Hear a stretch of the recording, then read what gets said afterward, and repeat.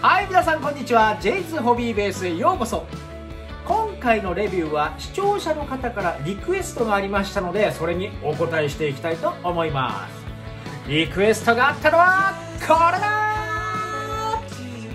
SH フィギュアーツ。マーベルズ・スパイダーマンスパイダーマンアドバンススーツです!イエーイ!ということでこちらの商品は2018年にプレイステーション4専用ゲームとして出ましたマーベルズ・スパイダーマンの中のアドバンススーツのフィギュアなんです。このゲームはまさに神ゲーと言われているほどの出来でスパイダーマンになりきって街を飛んだり跳ねたり悪党を倒したりとオープンワールドアクションアドベンチャーゲームとして大成功を収めているゲームなんです。今回はこちらのフィギュアをレビューしてくれというリクエストがあったので開けて一緒に楽しんでいきましょう。リクエストありがとう。まずはパッケージを見ていきましょう。今回付属品がいっぱいついてます。こちら2019年に発売されましたが初回特典で磁石台座がついてたんですけど今買うとどうなのかな？はい横は着地したスパイダーマンのイラストだったり後ろはこんなウェブを飛ばしたポーズができたり付属品もいっぱいついてて顔の表情も目のパーツの差し替えでいろいろできるよってことですね。横はこちらしゃがんでいるスパイダー。はい。では早速開けて中を見ていきましょう。いきますよ。アドバンスはいこちらの商品は付属品がめちゃくちゃついてるんです。本体に顔の交換パーツ武器だったり交換用のハンドパーツウェブもたくさんついてますからね。あ携帯電話がこぼれてる。ではブリスターから取り出して早速本体じっくり見ていきましょう。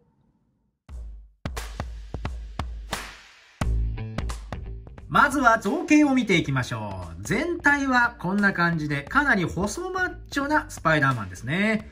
実写映画版のトム・ホランドとはまた違ったゲーム版のスパイダーマンといった感じです。顔はどうでしょうか？目が大きくてアニメチックで、これはこれでいいですね。クモの巣のモールドも入っていて塗装もしっかり塗られています。上半身には白い雲のマークが入っています。前後に動かしてもマークが途切れないように工夫がされてますね。肩の筋肉が半端ない。まさに細マッチョを地で言っているこの造形。モールド、ラインともに細かく作られています。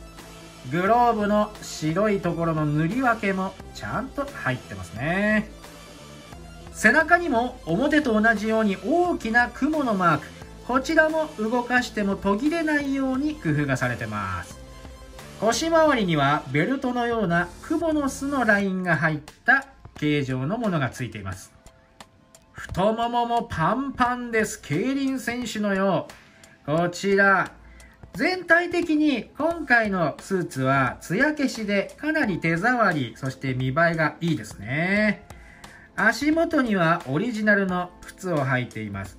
かかとはこんな感じで足の裏の造形はこう。塗装もちゃんと入っています。造形はこんな感じ。次に可動を見ていきましょう。首は360度回ります。前に倒すとこんな感じ。上を見上げるとなんとここまで上がるんですね。これは素晴らしいです。胸は溝落ちの上でこちら360度回そうと思えば回れますね。はい腰も若干ですが左右にひねることはできます。前後はどうでしょうか？前に倒すとぐっとここまでうつ伏せられます。これはいいですね。腰の部分の隙間が見えないようにこのように穴埋めパーツが入ってます。後ろに倒すとぐっはい、ここまでのけぞることができます。さすがスパイダーマン。次は腕回り。腕を真横に上げると、ここで止まってしまいます。肩の中にあるパーツに干渉してしまうんですね。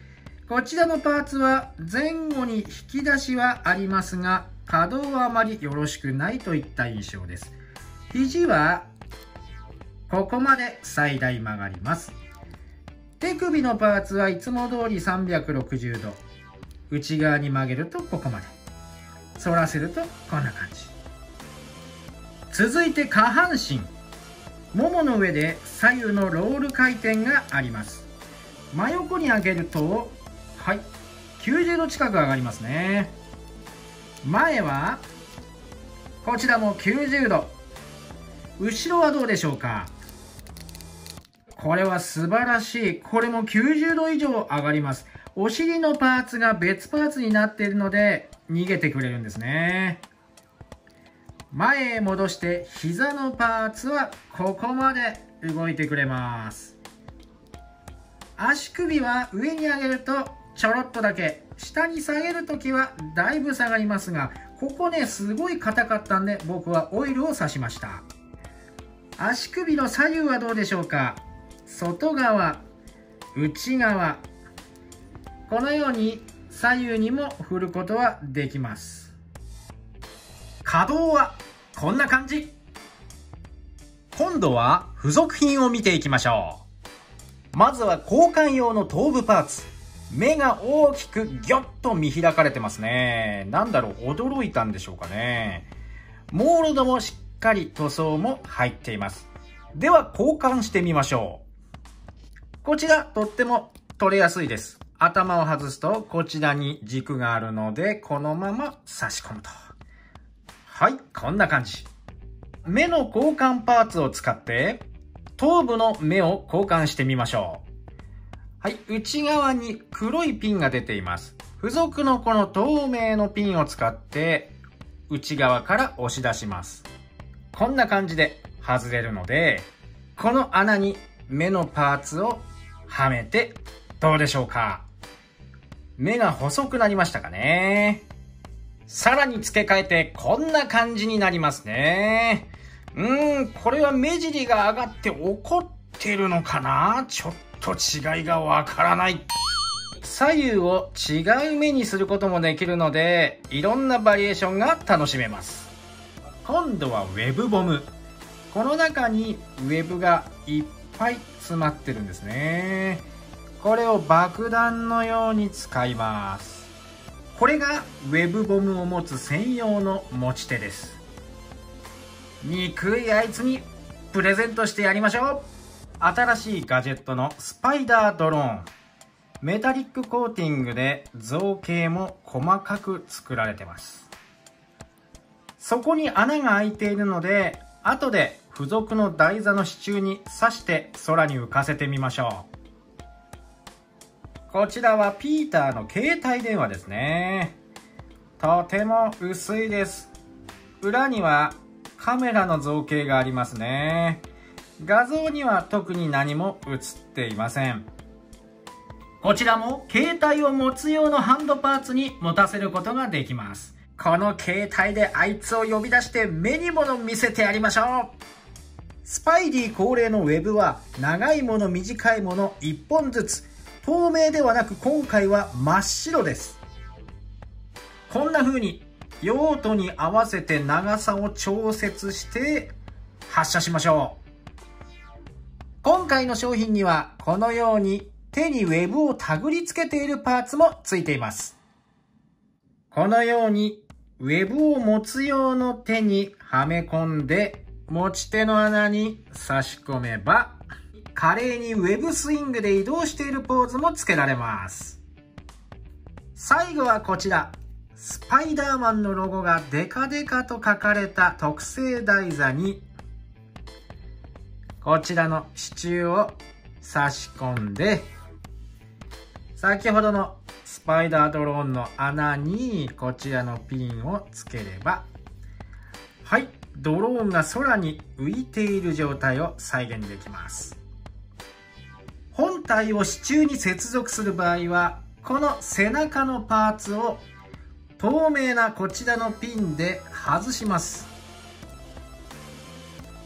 ここにこの接続用のジョイントをはめてここに支柱のピンを刺すわけですさらに支柱を組み上げてこのように空中にぶら下がっている姿も再現できます。そして初回特典の磁石入り接続パーツ。これを背中につけてこのように鉄製のものに近づけるとはい。ぴったりとくっつきます。もう逆さにしても落ちないですね。もちろんドローンにつけても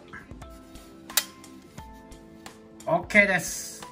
いやーこれはいいですよ。思わずね冷蔵庫とかにくっつけたくなりますよね。うん。最高。付属品はこんな感じ。最後は先日ご紹介しましたアイアンスパイダーを改めて横に置いてみました。型やゲーム版、型や実写版ということで、スーツのカラーリング、ツヤなんかはもちろん身長、そしてこの筋肉質な体型も全く違って、これはこれでお互いいいですよね。今回のアドバンススーツ版は、この筋肉が逆に邪魔してですね、膝の可動域だったり、肩の可動域が少し狭まってしまうのがちょっと盲点かなというところ。または上腕のロールがないのも、上半身の可動域を狭めている要因になっています。でも、それを超えるぐらいの股関節、下半身の可動や付属しているガジェット豊富についてますので、うん、今回のスーツも改めて最高でした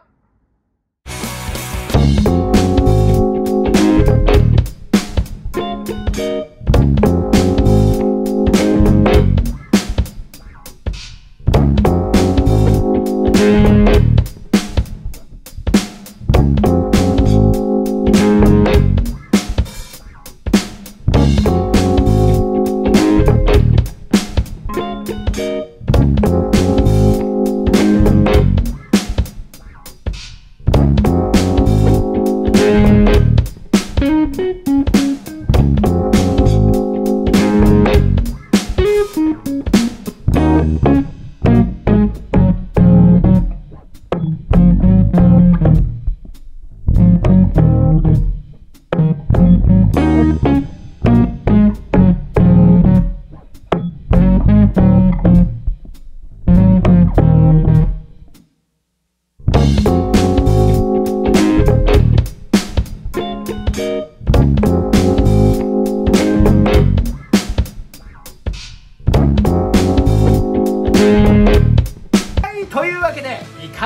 でしょうか？今回ご紹介しましたこちら SH フィギュアーツスパイダーマンアドバンススーツ。